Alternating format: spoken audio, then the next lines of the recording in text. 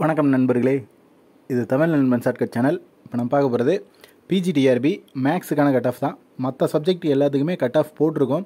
So அதை பார்க்காதவங்க பார்த்துக்கோங்க. ஒவ்வொரு சப்ஜெக்ட்டுக்கும் தமிழ் இங்கிலீஷ் அப்படின்ற மாதிரி ஒரு ஒரு சப்ஜெக்ட்டுக்குமே கட் ஆஃப் போட்டிருக்கோம். அதை ஜஸ்ட்டு பார்க்காதவங்க பார்த்துங்க அதே போல் நார்மலாகவும் கட் ஆஃப் விடலை. நம்ம அனலைஸ் பண்ணி ஒரு ரெண்டு மூணு இன்ஸ்டியூட்டில் விசாரித்து ஸ்டூடெண்ட்ஸ்கிட்ட பேசி எவ்வளோ மார்க் வருது அப்படின்றத அனலைஸ் பண்ணி ஓரளவுக்கு பர்ஃபெக்டாக தான் கட் ஆஃப் கொடுத்துருக்கோம். ஜஸ்ட்டு நீங்கள் அதை கட் ஆஃப் பார்த்துங்க கண்டிப்பாக இதுக்குள்ளே தான் வர்றதுக்கான சான்சஸ் நைன்ட்டி நைன் பர்சன்டேஜ் இதுக்குள்ளே தான் வரும்.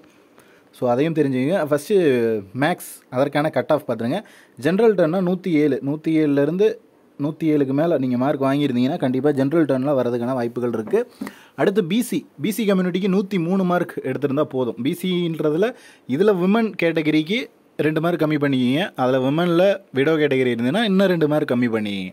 ஸோ இந்த மாதிரி தான் பார்த்துக்கணும். ஸோ எல்லா வீடியோஸ்லையுமே அதை சொல்லியிருக்கோம். ஸோ மற்ற சப்ஜெக்ட்டுக்கும் வீடியோஸ் பா போட்டிருக்கோம். அதையும் பார்த்துங்க அடுத்து பிசிஎம் முஸ்லீம்க்கு வந்து தொண்ணூற்றி நாலு ப்ளஸ் தொண்ணூற்றி நாலுக்கு மேலே எடுத்துருந்தீங்கன்னா நீங்கள் எலிஜிபிள் நீங்கள் பாஸ் மார்க் கண்டிப்பாக வாங்கிடலாம். அடுத்து எம்பிசிக்கு வந்து தொண்ணூற்றி எட்டு தொண்ணூற்றி எட்டு அல்லது தொண்ணூற்றி எட்டுக்கு மேலே இருந்துச்சுன்னா கண்டிப்பாக நீங்கள் எலிஜிபிள் தான்.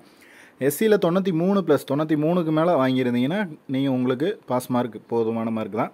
அடுத்து எஸ்டிக்கு தொண்ணூறு ப்ளஸ் ஸோ தொண்ணூறுக்கு மேலே நீங்கள் மார்க் வாங்கியிருந்தீங்கன்னா கம்பல்சரி நீங்கள் பாஸ் இப்போ தொண்ணூறு அப்படின்றதுல நீங்கள் உமன் கேட்டகரியாக இருந்தீங்கன்னா ரெண்டு மார்க் மைனஸ் பண்ணீங்க. விடோவாக இருந்தால் இன்னும் ஒரு ரெண்டு மார்க் அதாவது எண்பத்தி மா ஆறு மார்க் இருந்தாலே போதும் அப்படின்றது தான் இதற்கான கட் ஆஃப் இதோ தயவு செஞ்சு இதை புரிஞ்சுக்குங்க. என்னென்னா புரியாமல் நிறைய பேர் கன்ஃபியூஷனில் நிறையா கேட்டுக்கிட்டே இருக்கீங்க. ஸோ அதனால தான் சொல்லிக்கிறேன்.